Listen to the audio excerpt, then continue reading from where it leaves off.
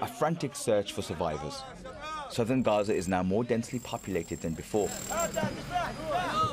with displaced Palestinians packed into areas where Israel says they will be safe from the airstrikes. A young boy is pulled from the rubble. He's disorientated. What's your name? His rescuers ask.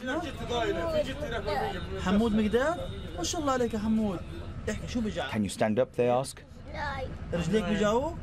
He tells rescuers his family was at home with him. They were sleeping. Their fate is unknown. Others are still trapped under the rubble. Rescuers call out, hoping anyone still alive will hear them and respond. This is the harsh reality for Palestinians a lack of equipment and digging with their bare hands. In the morning, they assess the damage and are still searching. This residential house was pounded by Israeli missiles. All inside are innocent civilians. There are no militants here. This residential building was shelled by the Israeli warplanes.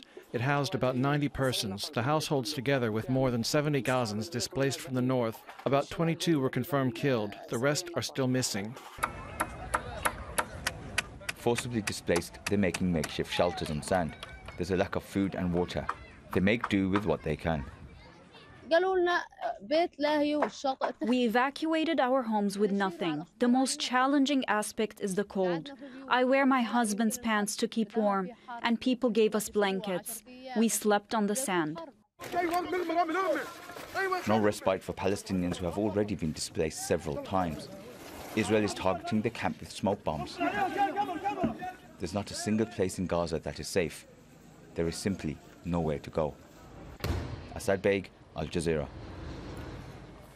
Let's go to our correspondent Hani Mahmoud. He's joining us live from uh, southern Gaza. He's in Rafah for us. Hani, firstly, tell us about these new evacuation orders the Israeli military has issued. Where is it telling people to go to this time?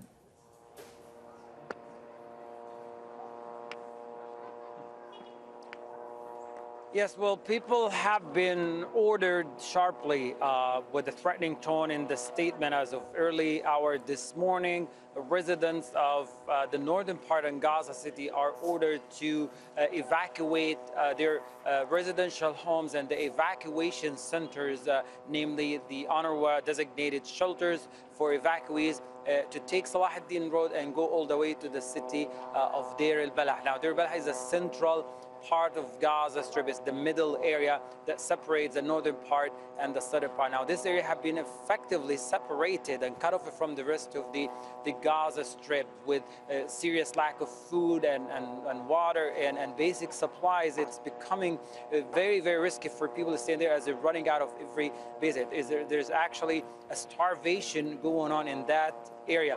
But people within the past two days were also told to evacuate the eastern neighborhood of, uh, of Gaza uh, uh, city and the northern part, namely Jabalia refugee camp. We have Shajaya neighborhood, Zaytun neighborhood, and other densely populated neighborhood, all the way directed to the western side of Gaza, of the Gaza Strip. But they found themselves under heavy bombardment and relentless airstrike. People had no other choice but to flee to whatever facilities was still remaining in the area. Uh, people in Gaza ran to a Shifa hospital to seeking refuge and shelter in its building.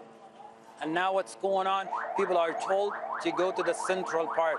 Yeah, it's certainly a very confusing picture, isn't it, Hani? Because for weeks now we've heard, night, for weeks bombed. we've seen the Israeli army telling people to go further and further south. Deir al-Balah is not in the south.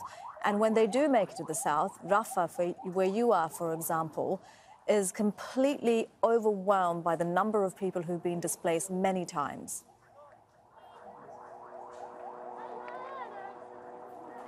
Exactly, and this is confirmed, very consistent what we see on the ground. There's this war is taking multiple levels now. There is the north and the Gaza destroyed completely, entire every means of life been destroyed. The central part is destroyed by starvation. People have cut off from the rest of the strip with no access to anything, and now.